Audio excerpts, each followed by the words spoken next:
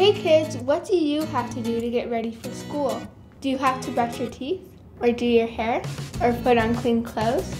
Well, in today's lesson, we're going to learn about what we need to do to be ready for the day when Jesus comes back. And it comes from a parable. Let's take a look. Jesus told the story of 10 bridesmaids waiting for a groom. The story starts with 10 ladies heading out to wait for a groom to come get them for a big feast. It was nighttime, so the ladies all brought some lanterns and some oil to keep the lanterns lit.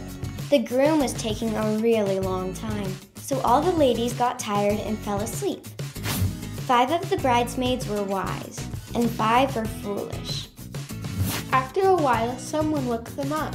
They told them the groom was about to show up.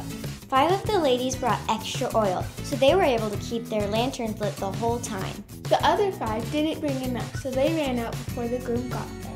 They asked to borrow some, but there wasn't enough to go around, so they had to leave to go get more. The groom came while they were away and took the five wise ladies to the big feast. When the other five ladies showed up, they tried to get in, but the groom wouldn't let them because they weren't there when he showed up. This story seems kind of silly, but here's what it's really about. The bridesmaids represent us, and the groom represents Jesus. Did you know Jesus is going to come back and take us to heaven someday? Now, it may not happen during your lifetime, but someday he will come down to earth and take all the Christians back to heaven with him. So, just like the bridesmaids are waiting for the groom, we're waiting for Jesus.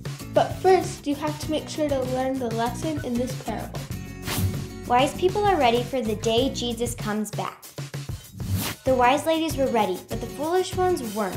You should be like the wise ones. Memory verse. So, my disciples, always be ready.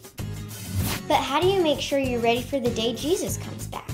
By making sure that you've accepted Jesus into your heart. That's the only way to get to heaven. And it's the only way to make sure that you're ready for the day Jesus comes back.